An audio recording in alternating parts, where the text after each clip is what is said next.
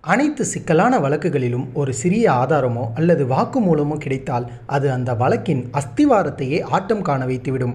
சாத்தான்குல தந்தை மகன் கொலை வழக்கில் கல்லூரி மாணவர் ஒருவர் அளித்துள்ள சாட்சியம் இதற்கு ஒரு உதாரணமாக தற்போது மாறியுள்ளது.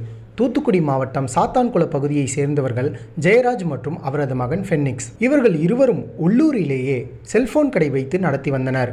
இந்த நிலையில் கடந்த ஆண்டு ஜூன் மாதம் பத்தொன்பதாம் தேதி அனுமதிக்கப்பட்ட நேரத்தை மீறி ஐந்து நிமிடங்கள் அதிகமாக கடையை திறந்து வைத்திருந்ததால் காவல்துறையினரால் கைது செய்யப்பட்டு விசாரணைக்கு அழைத்து செல்லப்பட்டனர்.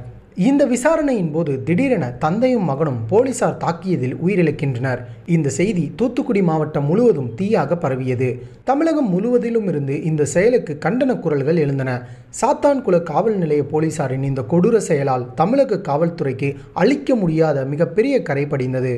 கடையடைப்பு போராட்டம் என ஒட்டுமொத்த தூத்துக்குடி மாவட்டமே இந்த சம்பவத்தால் கொதித்து போயிருந்தது.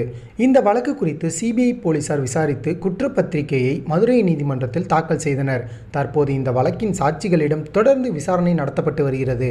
இதற்கிடையே சாத்தான்குள படுகொலை வழக்கு மதுரை மாவட்ட முதலாவது கூடுதல் செஷன்ஸ் நீதிமன்றத்தில் கடந்த திங்களன்று விசாரணைக்கு வந்தபோது ஜெயராஜ் நடத்திய கடைக்கு அருகிலுள்ள பழக்கடை ஒன்றில் பகுதி நேரமாக வேலை பார்த்து வந்த அர்வின் என்ற கல்லூரி மாணவர் அளித்துள்ள வாக்குமூலம் இந்த வழக்கையே புரட்டி போட்டுள்ளது. ஜெயராஜ் மற்றும் ஃபெனிக்ஸ் கொலை வழக்கில் தனக்கு எந்தவித தொடர்பும் இல்லை என சாத்தான்குள காவல் நிலைய ஆய்வாளர் ஸ்ரீதர் இதுநாள் வரை கூறி வந்தார். ஆனால் அர்வின் அளித்துள்ள சாட்சியத்திலோ ஜெயராஜை போலீஸ் வேனில் ஏற்றும்போது எந்த தவறும் செய்யாத தன்னை ஏன் அழைக்கிறீர்கள்? என்று கேட்டதாகவும் அதற்கு வேனில் முன்பகுதியில் அமர்ந்திருந்த இன்ஸ்பெக்டர் ஸ்ரீதர் நீதான் எல்லாவற்றிற்கும் காரணம். பேசாமல் வண்டியில் ஏறி உட்காரு என கூறியதாகவும் வாக்குமூலம் அளித்துள்ளார் அர்வின். கல்லூரி மாணவர் அர்வின் அளித்துள்ள இந்த சாட்சியத்தால் வசமாக சிக்கியுள்ளார் ஆய்வாளர் ஸ்ரீதர். இந்த இரட்டை கொலை வழக்கில் அவிழ்கின்றன என்பதை பொறுத்திருந்து பார்ப்போம்.